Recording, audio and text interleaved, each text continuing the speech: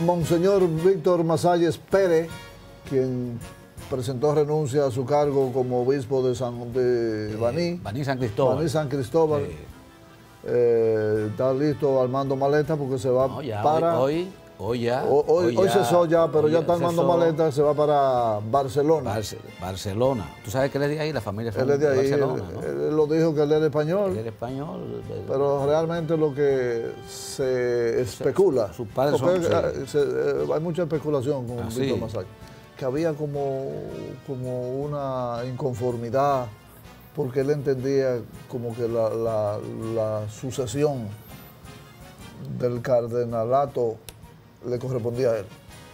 No, yo la- Dicen, los, dicen, dicen, los dicen, info- los dicen. informes que tengo es ¿Qué dice? de que había sectores de poder que estaban inconformes con Monseñor Masalle. Eh, era un hombre muy crítico, No, pero no, no crítico ahora con este gobierno. Recuérdense que en una ocasión, en, una, la- en un tedeo en la, en la catedral por un- una fecha patria, el 27 de febrero, iban a pronunciar un discurso, el presidente de la República, me parece que fue Danilo, pronunció un discurso en el Congreso, el 27 de febrero, no sé, y Masalle tenía la homilía, la homilía estaba escrita, Sí. y la cam- cambió los números, cambió números, cifras y cosas, entonces la varió. Y ahí cayó en Bueno. desgracia con su pupi- con, con su protector, que fue el cardenal López Rodríguez. Y después, después se reivindicó, después Sí, se reivindicó y lo hicieron, y lo hicieron, lo, lo hicieron obispo, porque él era eh, obispo auxiliar de la arquidiócesis de Santo Domingo. En- en- en torno a eso que- usted Y- plantea. Y, en torno al caso este de la también sectores molestos, una posición muy firme y radical en torno contra las tres causales y acus- acusado al gobierno de mantener en una serie O sea, de tweets usted piensa que- usted piensa que lo secuestrados saca- del Congreso que lo- Nacional. que lo que lo sacaron Bueno, pero de- que aquí de el gobierno se molesta porque tú hagas una crítica y te mandan a sacar de los canales de televisión y de los periódicos. Sí, cierto, Ahora un cura que lo manden a sacar de... de- Adem- Además, Eh, yo le voy a decir una cosa, es un crítico, pero un crítico con fundamento, un economista de primera de línea. primera línea. Que cuando dice, y ustedes saben que a- ahora se usa, Y que un- se y manejan y mucho, la- y las, cifras se manipulan y re- mucho. Y un recio intelectual. Y un recio intelectual. Entonces la- las cifras aquí, las estadísticas, se manipulan mucho. Y usted teniendo un obispo como ese, eh, eh, formado y con la lengua eh, suelta, bueno, Porque hay- hay que reconocer que Bueno. luego de la salida, ¿no? que el retiro de Monseñor López Rodríguez, por razones ya de edad y de, ¿verdad? y de salud, la Iglesia Católica ha caído como una- en una, una, una- una especie de una falta de liderazgo. ¿eh?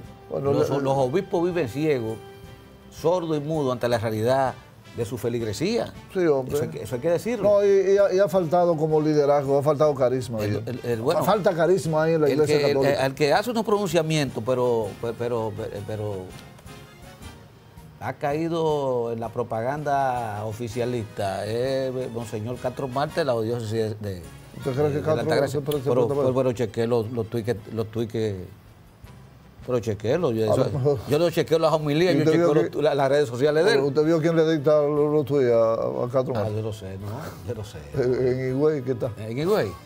Ajá. Sí. Ah. Estando en Higüey, Exactamente, pero eh, ha, ha provocado sorpresa, mucha sorpresa, tanto en el clero como eh, en, En la población en sectores políticos ¿no? e intelectuales la salida de, de, de Masaya de la diócesis, la renuncia. Le quedaban 12 años todavía como obispo, a los 75 que tiene que renunciar y bueno, tiene 62. Ese que están viendo ahí es el monseñor Cecilio Raúl Berzosa. Ese es un obispo de España que también cayó en desgracia y anda por estos predios.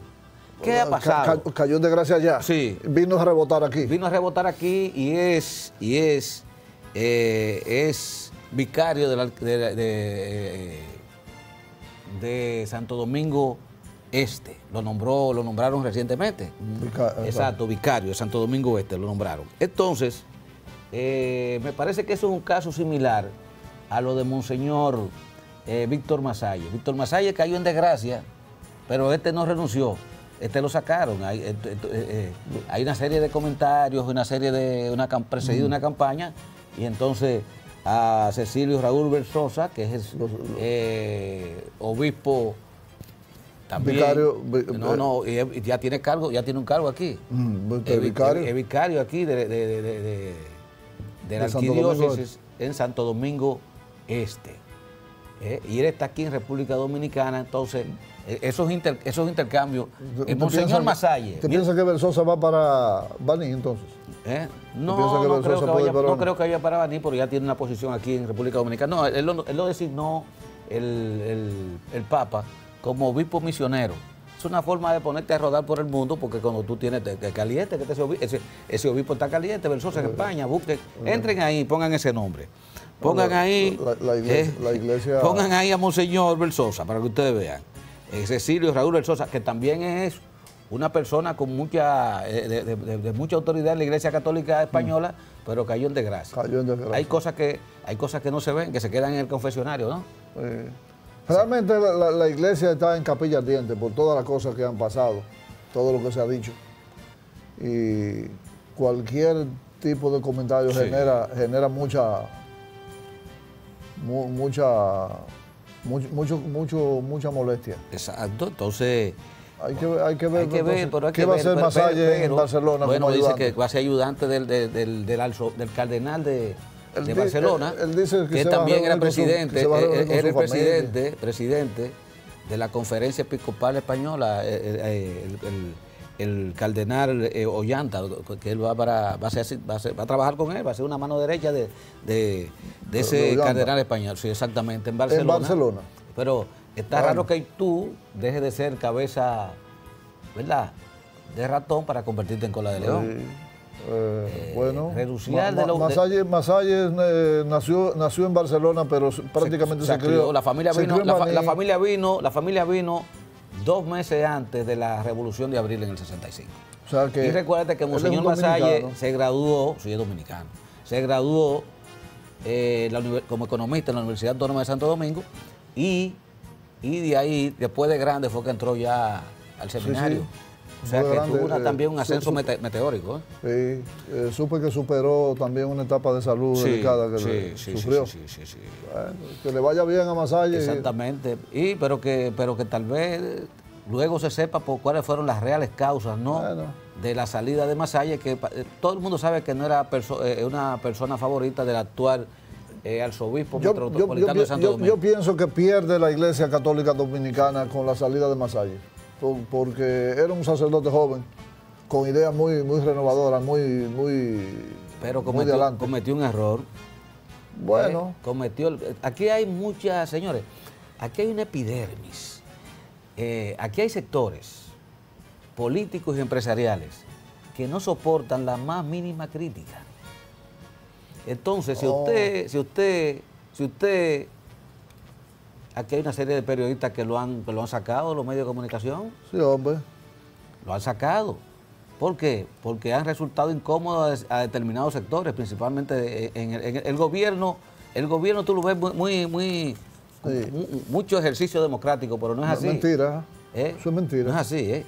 Entonces Es puede ser que Monseñor Masalle haya sido víctima también. De, la, esa diablura esa de poder. chi- chimo- chimorreadera. Exactamente. Pero que le vaya bien a Monseñor Masalle, la Iglesia Católica pierde a un Claro, un vocero un vocero autorizado, autorizado, una persona, una persona que tenía, respiraba cierto tipo de, de la sotana, respiraba algo de liderazgo. Así es recordar con su pronunciamiento a Monseñor López Rodríguez. Sí, sí, sí. ¿eh? Monseñor. López Rodríguez, que está retirado, Está retirado, su la edad, ochenta y pico de años, pero se mantiene muy bien, según lo, lo- observé bien. recientemente. Sí, ¿no? y- Es- y muy al día en los medios de exactamente. comunicación. Señores, mira, este, ¿quién tiene entonces el control en Haití? Usted vio las imágenes de hoy, ¿verdad? ¿Cómo que- ¿Y quién va a tener control de Haití? ¿Quién, y quién, Bueno, pero como dice el gobierno, dice, di- dijo el presidente Luis Abinader, ¿Quién puede controlar una horda ¿Eh? humana así? dijo el presidente Luis Abinader que eh, el gobierno haitiano no tenía nada que ver con el... con, con el canal que se canal. construye. No, que era un empresario. Exactamente, pero el Y- gobierno, y- el gobierno haitiano mandó una fuerza élite hoy. ¿Y ¿Qué le parece? En un, en un país donde un empresario provoque un conflicto entre dos, entre dos naciones y que, y que, y que no pueda ponerse eh, cintura a una, a una- actuación así. Eh, ¿Qué usted espera? ¿Con razón o sin ella? Pero no puede estar, un- una, una acción de un empresario por encima de la decisión Mira, del gobierno esos central. son, esos son- esas son fuerzas élites de la policía de Haití. ¿eh? ahí fueron recibidos con- entre aplausos y con bandera haitiana. Sí. Ese es un caso que nosotros solamente estamos mirando a este lado. Y yo no un creo que eso es un sí, sí, problema. sí. eso es, bueno, vamos a, vamos, vamos a impedir que esta gente provoque un- toda esa multitud que está ahí, provoque un incidente fronterizo diplomático y han mandado esa fuerza élite para mantener ¿Usted el cree- control. La gente dice que no, que es una provocación a República Dominicana, ninguna provocación. Y la República Dominicana no te pone helicóptero, tanque de guerra y, y- y- y te sobrevuelan por los tucanos y eso ningún- ¿Tú me entiendes? Entonces, Ahora, ellos no pueden mandar a, eso, a esos infelices que ni siquiera armamento sofisticado tienen, una escopeta calibre 12, anda una policía haitiana, sí, una sí. fuerza élite. Eh, Entonces yo creo que... a- la- ahora, a mí no me gustó ¿el qué? la algarabía con que recibieron eso, Ay, porque pero- se interpreta eh, eso, de que y, están mandando a contener, mandando a contener es porque parece que tienen... Bueno, pero eso, eso está en su territorio. Digamos, Miguel Ángel, es que eh, tampoco es que- usted es que- está... es que mire, usted es que le- usted- es que le- usted- mire, ¿usted sabe, en tu a qué- casa... usted sabe a qué que yo le tengo Sí, miedo? ¿a qué? sectores que le dan cuerda A los dos. a, a esa- a esas, a esas hordas Sí, sí. Pero aquí sin tenemos, gobierno. Pero aquí tenemos una sorda. Aquí A esas tenemos, sordas aquí sin tenemos- gobierno, Guillermo. Aquí tenemos gobierno y hay unas sordas aquí. También. Aquí hay gente que de aquí, de- de- aquí hay gente que dice, nos vamos para Haití. ¿Y tú para dónde cogen? ¿Cómo se llama este restaurante que a usted le gusta ahí, que venden carísimo, que, que- que no, deja- no me dejan entrar a mí? ¿Y, y por qué no lo dejan entrar? Porque usted no va a la- pagar y No, con- yo- consume y paga. Eh, eh, el hecho es que parece que la situación va para largo porque estoy mirando aquí un comunicado de la Embajada de Estados Unidos que está diciendo lo siguiente, la Embajada. ¿Eh? El gobierno de la República Dominicana ha anunciado el posible cierre de las fronteras aéreas, marítimas y terrestres entre República Dominicana y Haití a partir del jueves 14 de septiembre. Los gringos lo están dando como un hecho. Eh, esto se suma a, a- a los actualmente cerrados puestos fronterizos terrestres de Dajabón, Juana Méndez, Elias Piña y, y- y Veladar. Si se produce el cierre, los ciudadanos estadounidenses que planeen salir de, de Haití hacia República Dominicana a partir del 14 de, de septiembre no podrán hacerlo y deberán, hacerlo arreg- deberán hacer arreglos alternativos. La Embajada de los Estados Unidos no puede facilitar la entrada a República Dominicana a través de un cruce fronterizo cerrado. O sea que Eh, parece que, parece que está advirtiendo la Embajada norteamericana que tiene que tener mejor información que usted que yo, Sí. que parece que el caso va para largo, ¿no? Y que sus ciudadanos y- y- deben y- salir, y que sus deben ciudadanos salir antes tienen del que tener 14. puerta franca para salir eh, rápido si se ofrece. Pero yo oí unas declaraciones ahí de gente, de gente de la frontera. En Dajabón, esas imágenes que estaban ahí de Dajabón, el mercado de Dajabón. Lo que está cerrado el mercado de Dajabón, porque hay otro mercado cerca de Taco Debbie, que se llama la empresa grandísima, que es sí, capellán sí. allá en, Sí, en Méndez. En. Eso está abierto.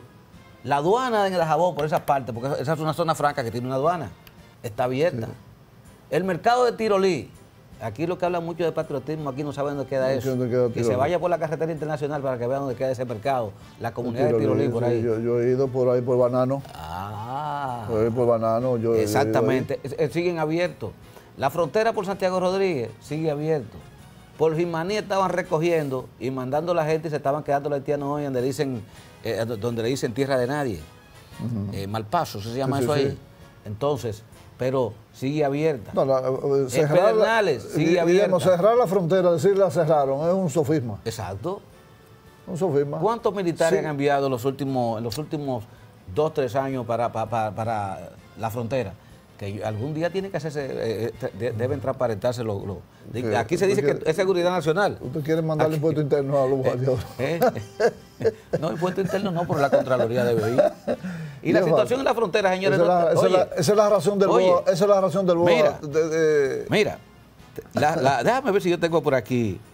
Eh, aquí la situación en la frontera no está, no te está acabando el mundo. ¿Dónde está el ministro de la Fuerza Armada? A mí me llamó la atención que el teniente general de Amorfa no ha aparecido en, la- en- el la reunión del Consejo de Seguridad, en las reuniones que se han hecho en Palacio y el presidente que ha tenido reuniones donde han participado altos jefes militares. Y hoy me doy cuenta que el- el- el ministro de Defensa está para Londres Ajá. participando en una actividad y entonces vi una, una, un tuit que soltó el embajador británico en la República Dominicana diciendo que el ministro de Defensa dominicano está para Londres. Entonces, No si, hay una hace- situación, si hay una situación de tanta tensión en la frontera, eh, como ¿Cómo- se le quiere dejar... ¿Cómo el ministro de Defensa está en Londres? Entonces, entonces Y, para y que- que, y que no lo informe el canciller de la República Dominicana que, que está supuesto a decirlo. ¿El qué?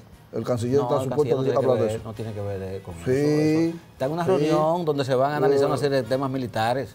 Pero lo que te estoy diciendo con eso es, lo que le estoy diciendo con eso, que la situación que se está vendiendo, como que, estamos al borde de una confrontación eh, bélica con Haití, por el, asunto de un canal rudimentario que se levanta eh, eh, ahí por Juana Méndez, cerca de Jabón, no es tal como el gobierno, la parafernalia del gobierno. ¿Por qué? Porque si el ministro de Defensa, ante una situación así, está para Londres, entonces, ¿verdad? Entonces, yo te estoy diciendo a ti que la situación, el muñeco como que se infla y después como que se desinfla. Eh, el muñeco. yo, le voy a decir una cosa. Tarde o temprano República Dominicana va a perder esa lucha contra los haitianos. Ese, canal va a, prosperar. Señores, pero, en el, pero, en el, pero en el 2021, la Comisión Mixta Bilateral se reunió aquí en República Dominicana. Para eso se reunió. Y entonces, se trató el tema del canal ahí de, eh, que, con, con que, de, las aguas, de acuerdo hídrico. exactamente. y el gobierno dominicano que viene con, con que se ha alarmado, que se está construyendo, pero desde 2021 la comisión, eh, ¿quién, ¿quién es el canciller de, de, este Roberto Álvarez. Roberto Álvarez estaba en esa comisión mixta bilateral ahí.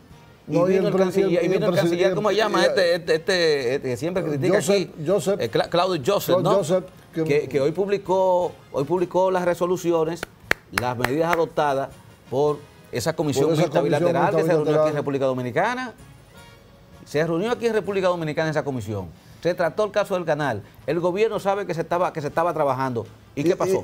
Y, acordaron, Guillermo, hacer un manejo combinado del recurso agua. Exacto. Entonces, República Dominicana tarde o temprano va a perder ese pleito. ¿Por qué razón? O por usted no le puede prohibir a nadie que, le pase un, río, por, que tome agua de él. Sí. Un río que pasa por su casa y usted no puede coger agua de, para tomar.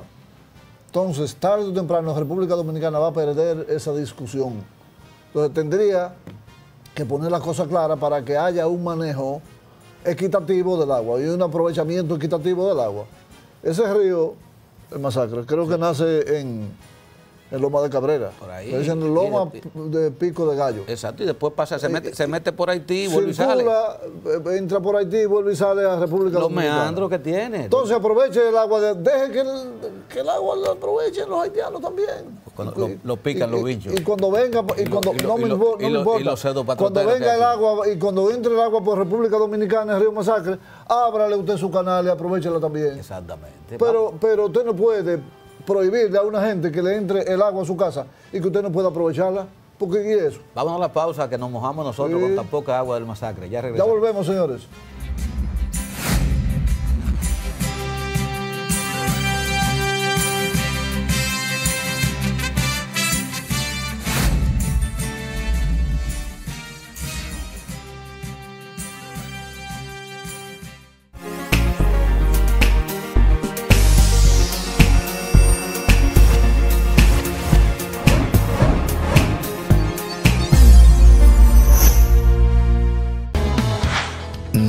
Sin ver. Resumen final.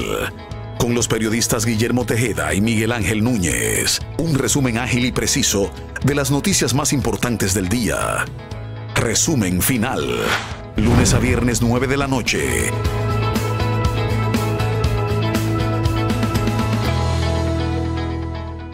VTV Canal 32 crece y amplía su cobertura para estar más cerca de ti. Nuestra programación llegará con mayor nitidez a través de los sistemas de cables nacionales. Claro, Altis, Aster, Telecom y su cablera local. VTV Canal 32, ahora con mayor cobertura y mejor programación.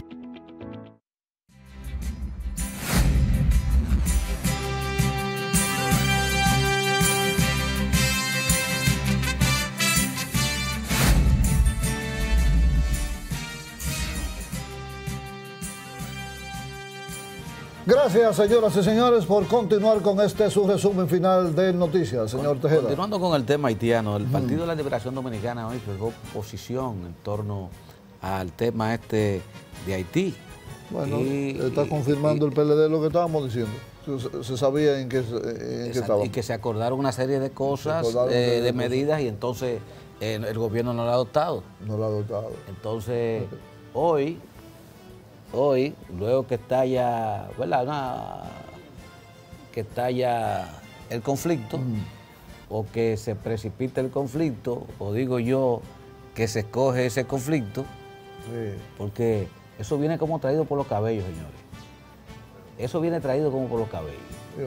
Entonces, eh, se ha hecho todo un escándalo, digo yo. Se ha levantado una Sí, polvareda ¿tú, tú- tú crees que es posible? Eh, eh, un- una policía que no tiene ni, ni- ni- no tiene que caerse muerta, entonces tú le mandas tanquetas, tú le mandas helicópteros, tú le mandas eh, los guardias que hacen falta aquí para y, lo- y los haitianos. Hoy mismo apresaron, a- apresaron varios vehículos llenos de haitianos que cruzaron todos los, todos los puntos de chequeo militar. Entonces, yo quiero que, yo quiero que me expliquen. Yo quiero que me expliquen. ¿eh? Tanta seguridad militar en un solo punto fronterizo, ¿para qué? Para crear eh, una especie de, de- espectáculo mediático, mientras eh,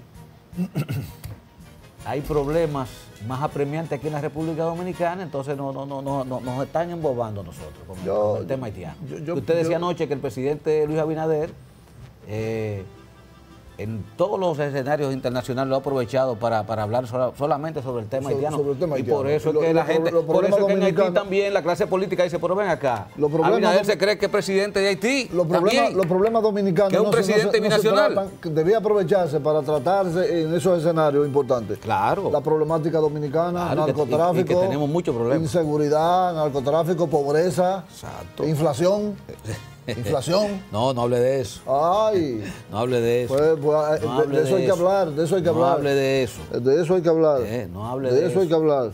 Bueno, el, el Instituto Duartiano también se pronunció hoy. Wilson Gómez Ramírez, nuestro Wilson amigo, Gómez. ¿no? Eh, hablaron y eh, con- hablaron sobre la, el tema Sobre el este de- el conflicto y también sobre la, la comisión mixta bilateral lo que se acordó. Aunque también eh, coinciden en, en atribuir la situación que hay al estado de ingobernabilidad en Haití No, pero claro. y a la falta de interlocutores que hay eh, en Haití. no hay con quién. No, no hay con quién, No hay con quién no hay- usted no hay- dialogar. no hay con quién dialogar en, en- en Haití. Entonces, eh, vamos a ver, vamos a ver. Vamos a ver a Wilson. Y él mismo ofrece una idea de lo descomunal que resulta cuando la propia Dirección General de Migración afirma que de 2017 a junio de 2023 se han repatriado hacia Haití 593 mil de sus nacionales, en tanto que los consulados dominicanos establecidos allí en ese mismo periodo de 2017 a 2023 han otorgado 548 mil visas. Bueno, eh, Bueno, la, la- la visa eso también, es así. porque aquí no se ha hablado del, del negocio de los visados, de los haitianos. atajan a los haitianos por el muro, pero entonces hay un cónsul en cada provincia haitiana que riega visa. en cada departamento Eh, haitiano. Pero hábleme, ¿qué fue lo que se quemó en Interior de Policía? Me gustaría saberlo a mí No. también. ¿Fue el archivo de, la, de las armas o fue el, el archivo, el departamento de cómputo? De que no fue el departamento de cómputo que cogió candela solo. Sí, que anoche. ¿Y por qué tenía que ser eso? No sé, se- pero se que yo, entiendo que... eh, Donde se eh, guardan todas las informaciones el de la Ministerio de seguridad Interior del y- país. El Ministerio de Interior y Policía debió emitir una un, co- un comunicado, ¿no? Debe emitir un Al, comunicado. al contrario, oigo yo decir que lo que están es eh, desviando la atención y diciendo no, que no, que eso no, que eso no fue fuego, eso fue un conato. Hay, hay una Conato. hay, hay un hay un hay un tuit de, de- de este jefe de la policía eh, Guzmán Fermín. Guzmán Fermín, diciendo que, Que ese fue un fuego. que eso que ese fuego se llevó se llevó dice aquí que el fuego se llevó fue el área de cómputo El centro de y cómputo que ya no ya no ya no va a haber diferencia entre las estadísticas que daba ese centro No. las estadísticas que daba la policía, porque hay una guerra, Hmm. hay una guerra ahí entre los asesores, los asesores de, del plan de seguridad, la gente de, de, de- Giuliani que están aquí, Porque Giuliani, no- Giuliani no está, pero el, brazo, el brazo, claro, el brazo derecho de Giuliani. eh, eh, ver, chequéate quién. Giuliani no está preso. Eh, no, tú sabes que, pero está aquí, están, aquí su gente, aquí hay un, aquí hay un grandón que aparece en las reuniones con el presidente, un rubio, Ajá. que esa es la mano derecha de la compañía esa de, de, Giuliani. Oh, pues yo no Entonces, sabía. Yo no- ese, eso- eso ese el no- otro día estaba defendiendo la- de la- eso lo- no lo- se- lo- los datos estadísticos de- que, daba, que, que daban ellos. No, porque hay de una... eso no, de eso no ¿eh? se habla. Dentro de la política de transparencia del gobierno no se hablan esos, esos extranjeros que participan en esa vaina. y, eso, y eso le pagan un, y le- y le- Un eso le pagan más que a los dominicanos. Ah, pero ¿eh? prácticamente. En dólares. En dólares. En dólares. En dólares. ¿eh? Bueno, Pero ojalá se diga que fue lo que se quemó. Pero eh, no, no, tiene Interior y Policía y el gobierno que, des- que, que explicarle al país qué fue lo que pasó ahí. Con lujo de detalle, darle toda la satisfacción necesaria al país. Todavía estamos esperando qué fue lo que pasó en agricultura. De lo, que pasó. en aquel tiempo. bueno. Tú sabes cómo que son aquí la- lo- lo- los fuegos. eh, eso, eso, esos juegos que se producen en áreas eh, estratégicas de las instituciones. Bueno, vamos a dejarlo ahí. Déjalo ahí, señor. El que, que tiene que estar cogiendo candela es Donald Guerrero. Donald Guerrero sigue preso en Najayo, fracasó. Qué duro, ¿eh? ¿eh? Fracasó en otro intento por obtener la libertad. Va a tener que esperar hasta, hasta diciembre para una revisión obligatoria de las medidas coercitivas. Eh, y hay toda una campaña montada también eh, para ponerle alas a, a- a muchos de los acusados de corrupción. Todo el mundo sabe que son demonios, muchísimos, son de- hay- muchos demonios ahí también. Y yo he visto gente que está llorando antes, gente, tan- eh, gente que era muy altanera y gente que hizo mucho daño aquí. ¿eh? ¿Eh? Bueno. ¿Eh? Y hablando de fuego, La, la cárcel. Hablando de fuego, tiene cara, tiene cara de hereje. ¿eh?